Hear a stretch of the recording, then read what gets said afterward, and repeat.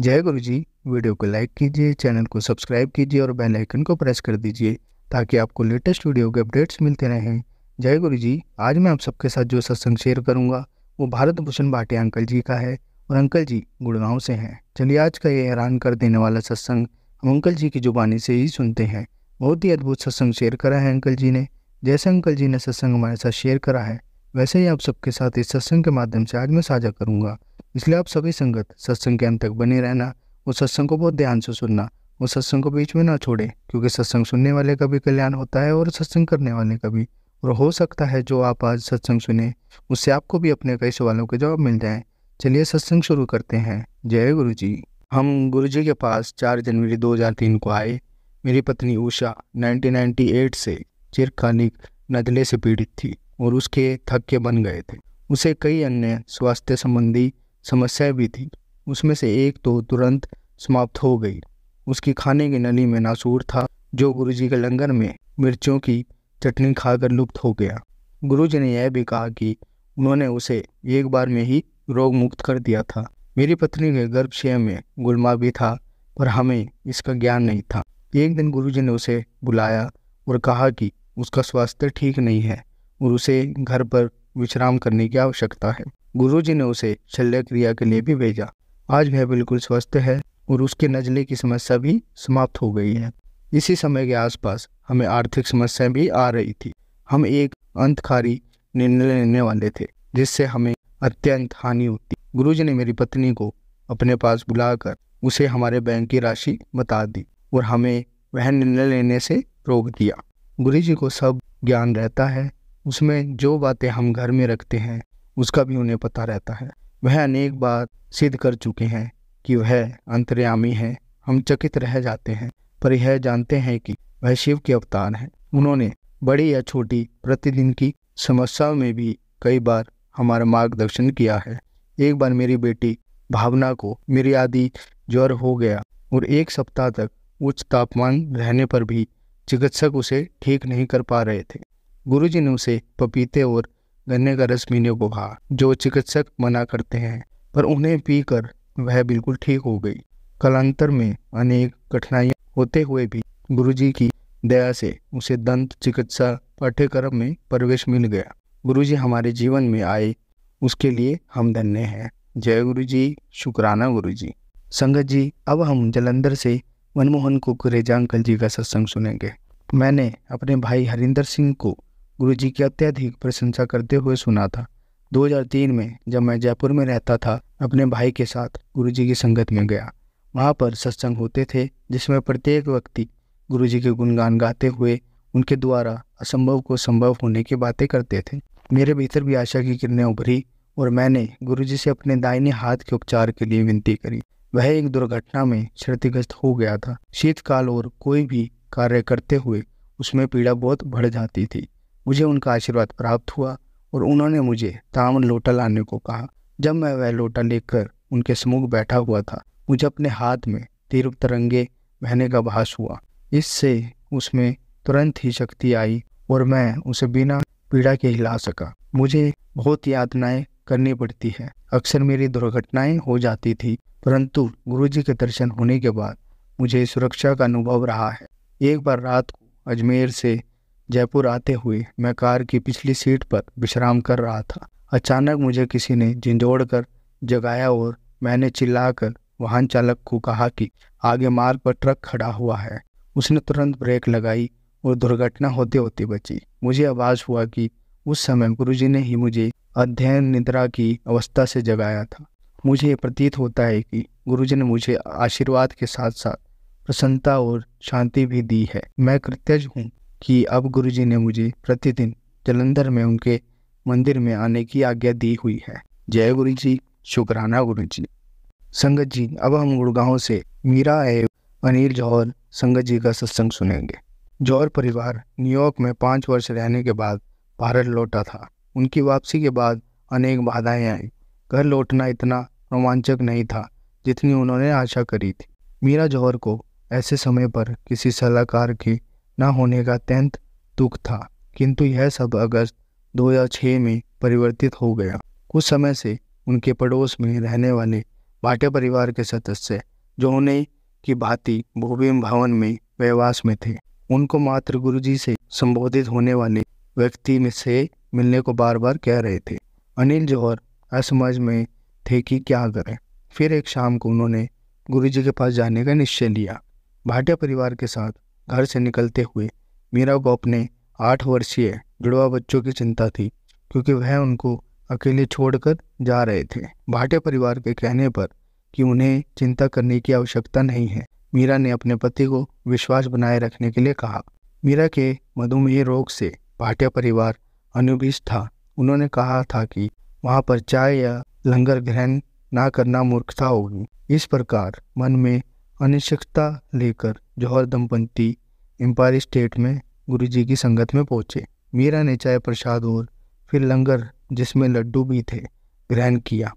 पवित्र भोजन के पश्चात उसके पेट में पीड़ा होने लगी। उसने यह अगले एक घंटे तक सहा। जब उनकी आँखें लेने का समय आया तो गुरुजी बोले, आया करो, ऐश करो। एम्पायर स्टेट के बाहर आकर भाटिया परिवार ने उनको बताया कि वह अत्यंत भाग्यशाली है। गुरुजी ने उनके पहले दर्शन पर ही उनसे बात करी। श्रीमती जौहर को यह बात रास नहीं आई। वह अपने पेट में हो रही पीड़ा के बारे में सोच रही थी। उससे कब मुक्ति मिलेगी? वह रात भर सो नहीं सकी और उसके मन में यही विचार घूमते रहे कि क्या वास्तव में वह किसी अति विशिष्ट स्थान पर गए थे? प्रात उठकर जब उसने अपने मधु की मात्रा का परीक्षण किया तो वह केवल सो था। वह आश्चर्यचकित होकर यही सोच रही थी कि ऐसा नहीं हो सकता। घर पर तो एक रोटी भी खाने के बाद उसका मधु स्तर ऊपर चला जाता था। मीरा हर दर्शन के पश्चात अपने मधु की यात्रा का परीक्षण करती रही। हर बार उसका स्तर नीचे ही रहता। उसके क्षत्रिय नारायण का स्तर भी 700 से घटकर 120 की सामान्य मात्रा पर आ गया था। अत्यंत उसने अपने और गुरुजी के परीक्षण बंद कर दिए। उससे विश्वास हो गया कि गुरुजी के आशीर्वाद ही उसको रोग मुक्त कर सकेंगे। उसे लगा कि उसका रक्त भी स्वच्छ और शुद्ध हो रहा है, किंतु वह आभास ही नहीं, तथ्य भी था। पार्य, उसके रक्त परीक्षण करने में कठिनाइयाँ आती थी। एक तो सही नस का पता नहीं चलता था और फिर उसमें से निकलता हुआ रक्त प्रदूषित और गाढ़ा होता था। किंतु अब गुरुजी के पास जाने के पश्चात, सुई पहले ही प्रयास में नस में जाने लगी और रक्त एकदम बाहर आने लगा। दिलचस्पी की बात यह है कि भाटिया परिवार को जौहर परिवार के अस्वस्थ होने का पता नहीं था। अनिल जौहर को भी सदा नजला रहता था। वह वातानुकूल कमरे में नहीं बैठ पाते थे। गुरुजी के पास दो तीन मास जाने के बाद उन्होंने अचानक आभास हुआ कि उनका यह रोग तो समाप्त हो चुका है। वह अपनी पत्नी के रोग के बारे में इतने चिंतित रहते थे कि अन्य बातें वह भूल जाते थे। जनवरी 2007 में जौहर और कुछ अन्य परिवार जिम कॉर्बेट राष्ट्रीय वन उद्यान में घूमने के लिए गए। सब दो जीपों में चढ़कर वन के चक्कर काटते रहे, किंतु कोई जंगली पशु दिखाई नहीं दिए। बच्चे कह रहे थे कि उन्होंने गुड़गांव के शहरी वातावरण में कहीं अधिक पशु देखे हैं। थक कर वह अपने आवास स्थान पर आ गए और सुरक्षा कर्मचारियों के पास रुके।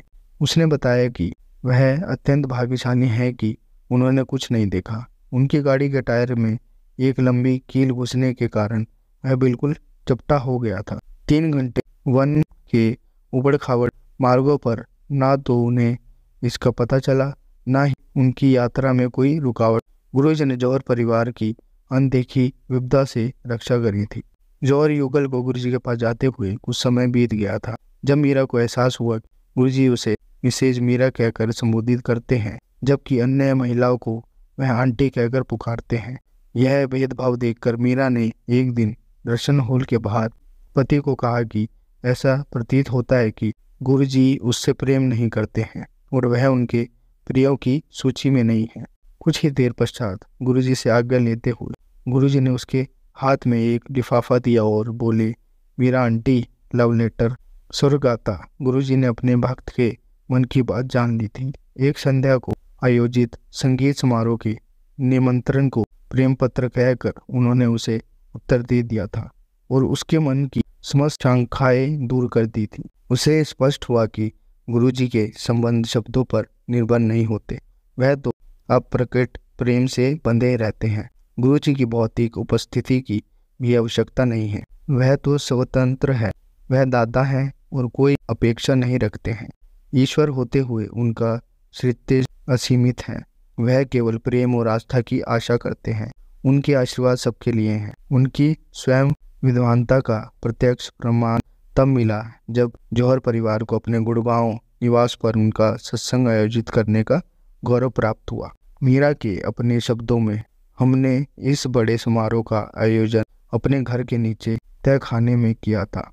एक दिन पहले अति उत्साह से उसका प्रबंध करते हुए मैंने अपने पति से कहा कि कितना अच्छा हो यदि उस समय हमें गुरुजी की उपस्थिति का आभास हो। गुरुजी ने मेरे मन की बात सुन ली और मेरी आकांक्षा पूर्ण करी। यद्यपि समारोह का समय साढ़े पाँच से सात बजे का था, कुछ अनुयायी चार पच्चीस पर ही पहुँच गए। संगत के आते ही गुरुजी की सुगंध पूरे घर में फैल गई। हम अति आनंदित हुए, पर यह तो शुरुआत थी। गुरुजी ने उस समारोह को यादगार बनाने के लिए कुछ और भी सोचा हुआ था।